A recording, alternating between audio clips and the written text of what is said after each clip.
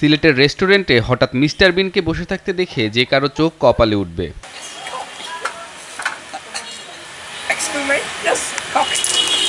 পর্যটন নগরী হওয়ায় দেশের বিভিন্ন প্রান্ত থেকে সিলেটে ঘুরতে আসেন অনেক পর্যটক। ঘোরাঘুরি করতে গিয়ে হঠাৎ চোখ আটকে যায় মিস্টার বিনকে দেখে। কৌতূহল নিয়ে তাকিয়ে থাকেন তার দিকে। যে যত জায়গায় যাচ্ছি তত জায়গায় আমরা নতুন নতুন চমক দেখাচ্ছি। অবিকল মিস্টার বিনের মতো অভিনয় করে সিলেট মাতিয়ে বেড়াচ্ছেন কলেজ পড়ুয়া এই বালক। বন্ধুদের সাথে নিয়ে শহরের বিভিন্ন স্থানে মিস্টার বিনের চরিত্রে অভিনয় করে রীতিমতো সাড়া ফেলে দিয়েছেন সালমান আহমেদ। তিনি এখন জুনিয়র মিস্টার বিন নামেই পরিচিত। আমি Salman Ahmed junior mister Bean. সাফরান বাসা আমার। আমি সে অনৌষা আমার খাদিমপাড়া অনৌ বড়োয়া মানে ছোটোবেলা থেকে অনৌ বড় হয়েছি আমি। ইন্টার সেকেন্ড ইয়ারের পরই মদন মোহন কলেজও মিস্টার বিনের চরিত্রে সালমানকে অভিনয় করতে দেখে আনন্দ পান প্রকৃত মিস্টার বিন খ্যাত রোয়ান আতকিনসনের ভক্তরাও।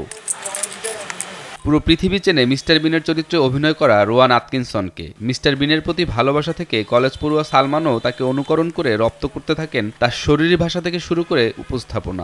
অনেক বালা মানে বাইরে করে পারিলেও দেখা যায়। সাইকেল সাইকেল চালাই বা আটিয়া যায় দেখি যে দাওয়া বাই বালানি।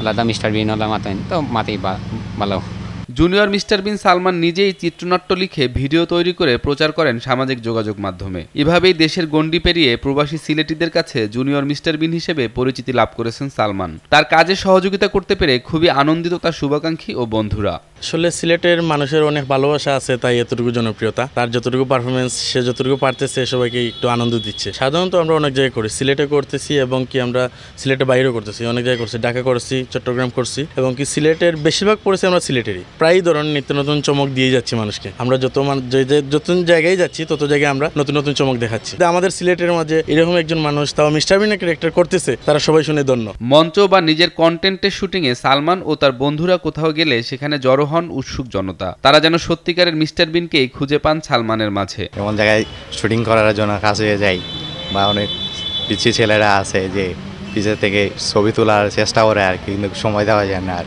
ভক্তরা বেশি হয় ফটো তুলতে চায় বা ভিডিও করতে চায়। কলেজ পড়ুয়া সালমানের মিস্টার বিন হয়ে ওঠার গল্পটাও বেশ অনুপ্রেরণার। অনেক বাধা আইছে। ফার্স্ট টাইম তো কুচ্ছু আসতো না। মানে একটা মোবাইল আসলো ফাইভ মেগাপিক্সেল ক্যামেরা নিয়ে ও থেকে শুরু করছি এর বাদে একটা একটা টাকার এই জিনিস তিন সাড়ে তিন বছরে জুটাইছি।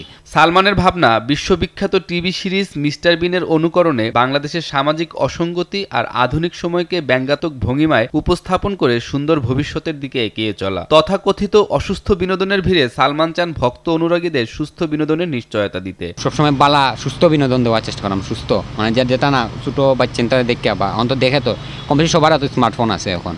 তো অন্তত নেগেটিভ কোনো জিনিস দেখল না বালা জিনিস দেখল। মানে আমার বিরুদ্ধে কি একটা বালা মানে অন্তত আমার শিক্ষা নিয়ে কোনো বিষয় নেই মানে যত আমার হাস্যকর মানে আমার বিষয় খুব কম শিক্ষা নিয়ে থাকে মানে যা দেই মানে বালা দেওয়া আছে না দেখে ভালো লাগতো। রোয়ান আতকিনসন সারা পৃথিবীর মানুষের মাঝে বেঁচে থাকবেন মিস্টার বিন হয়ে। সালমান আশা করেন একদিন আসল মিস্টার বিনের দেশে অভিনয়ের জন্য তিনি ডাক পাবেন। তখন হয়তো দেখা হয়ে যাবে তার আইডল সত্যিকার মিস্টার বিনের সাথে। আমি ভালো কাজ করি অবশ্যই ডাক আসবে যে না ও তো মানে ওই জায়গায় বাংলাদেশে আছে তো গিয়ে আমি আমার দেশের নামটা ওই জায়গায় নিয়ে মানে দেখার যে না বাংলাদেশে আছি জি বলো।